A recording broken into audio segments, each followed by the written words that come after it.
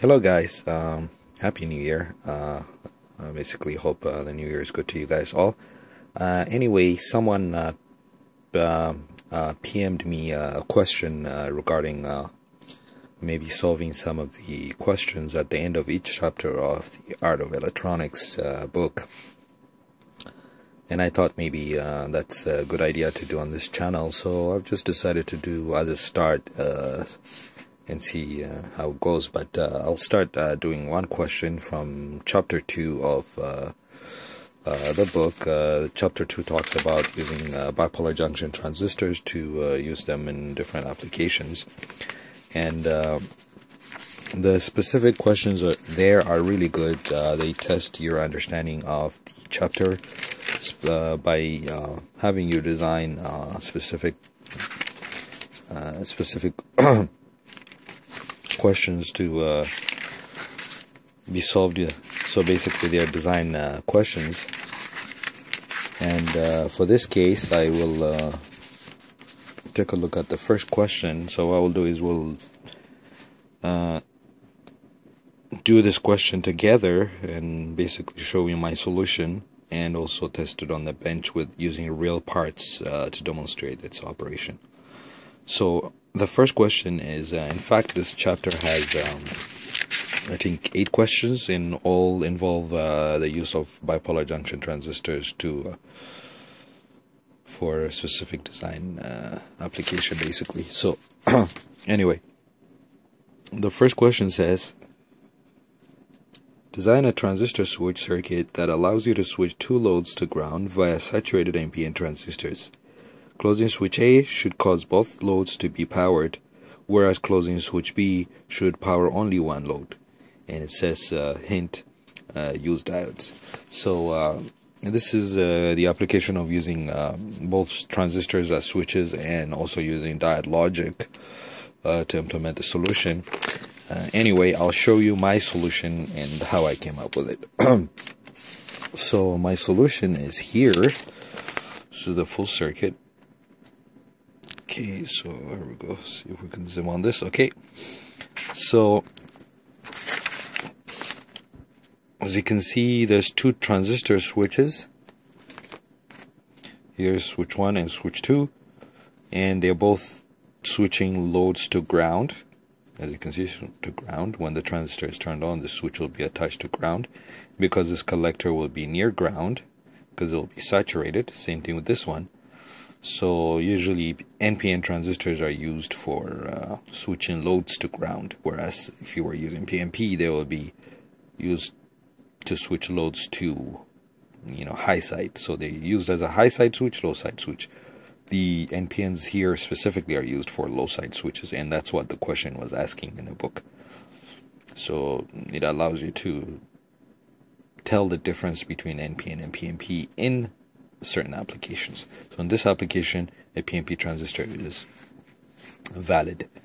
Uh, and the type of device I'm using is BC237 and uh, you can see its data sheet and, and all that uh, good stuff. But for now, uh, this is how I implemented the solution. I have 10 volts to supply my load and this is going to be simulate like a microcontroller input into these two transistors so say around 5 volts and A is going to switch this load through this transistor. And as well this load this load through that path that I just showed you. Whereas B the second switch when you close it it will switch on this load through this transistor but it will not be able to switch this transistor because this diode is blocking it. So for this application, A will control both loads, but B will only control this load here.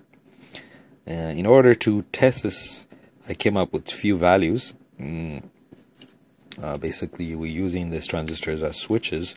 So if you are using transistors as switches, you're supposed to supply enough base current to take this transistor from cutoff to saturation.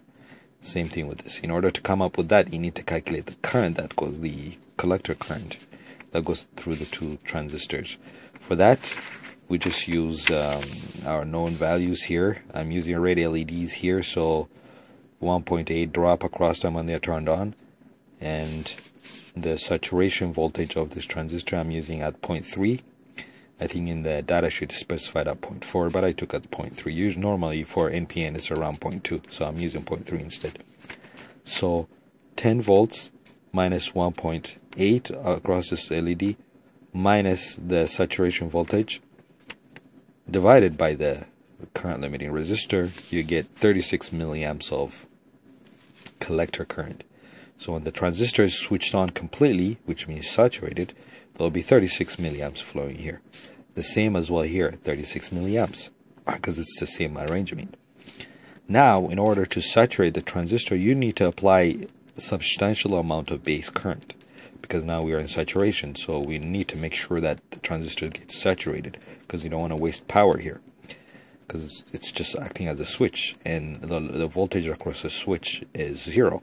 So in order to do that what we need to use is we need to use a beta that's much less than its rated beta for if you were to use it in the active region so I used I looked at the transistor data sheet. They specify the VSAT of 0.4 at beta of 10 so I just took beta of 10 so I took the 36 milliamps here going divided it by beta of 10 I get 3.6 milliamps going into the base of this transistor in order to saturate it with the specific load.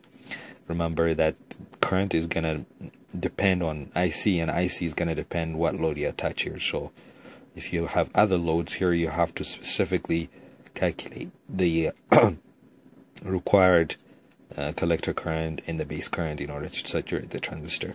Anyway in our case here I have 3.6 milliamps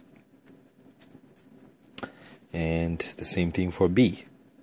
Now in order to come up with uh, the value for I1 to limit the current going to the base of this transistor we can note that if this is 5 volts, when the switch is switched on, this diode will be forward biased and it will drop that 5 volts to 4.3 volts. And uh, when B is closed, uh, it's not going to matter because it's directly hooked up to here, so 5 volts supply. But we have to make sure when A is closed uh, that it's able to saturate both transistors because there's that extra diode here. So for that case, 5, this drops down to 3.6, so we have two different resistors that we have to use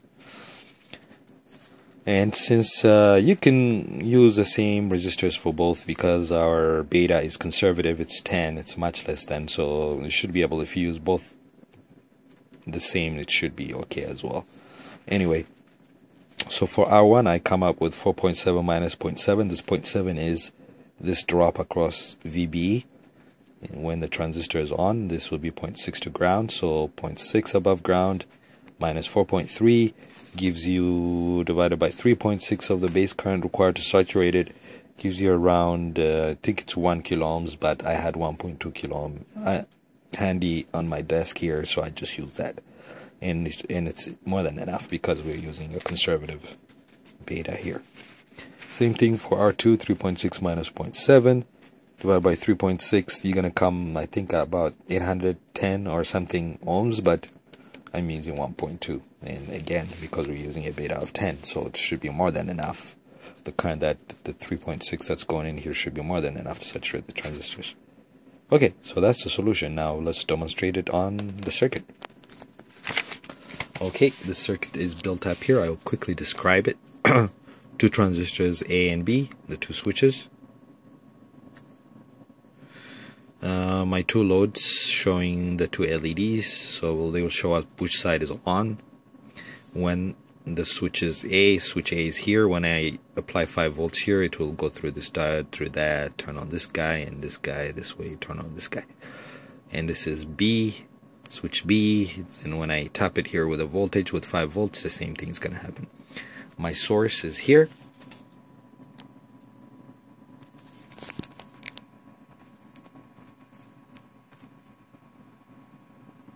yeah my source is here 10 volts for the power and 5 volts is here you uh, can't really see it but there's an external like a second source here that's only fixed 5 volts so that comes here the 5 volts the control signal is here as you can see is and I'll tap one of these to show you which one is active and which one is not Okay, so let's do it. So when we act activate A, we expect both loads to be on.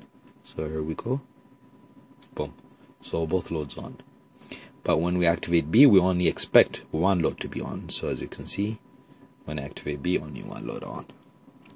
Yep, so that's basically the solution to question one of chapter two exercises on transistors, uh, bipolar junction transistors from the art of electronics.